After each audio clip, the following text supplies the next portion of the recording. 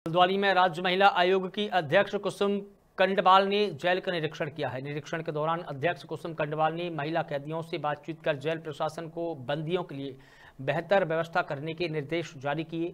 इसी क्रम में राज्य महिला आयोग की अध्यक्ष कुसुम कंडवाल ने कहा कि महिला कैदियों से बातचीत हुई है और वह अपनी पूर्व में की गई गलतियों से दुखी हैं, जिसको लेकर जेल प्रशासन को निर्देश दिए गए हैं कि महिला कैदियों को स्वयं सहायता समूह की तरह प्रशिक्षण देकर स्वरोजगार से जोड़ा जाए, जिससे कि भविष्य में अपराध क्षेत्र में ना जाकर अपनी रोजी रोटी पर ध्यान दे सके।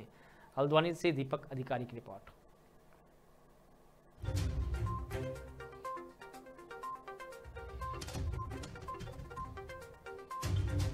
वही देखने आई थी मैं। सतहत्तर महिलाएँ हैं और जो आप लोग प्रतीक्षा करते रहे, उसका भी मैं बता दूँ कि एक एक महिला कैदी से मैं मिली।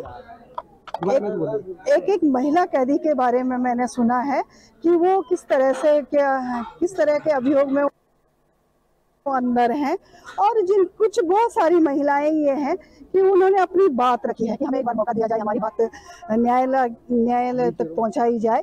तो उसमें हमने खुद ही हम लोग बैठे हैं हमने कहा है कि इसमें अगर वास्तव में हमारी तरफ़ से कि वो उन्हें उनका जो गुनाह है कि उनका गुना उन्हें लग रहा है कि उन्होंने एक्सेप्ट भी किया कि हमसे जो गलती हुई है।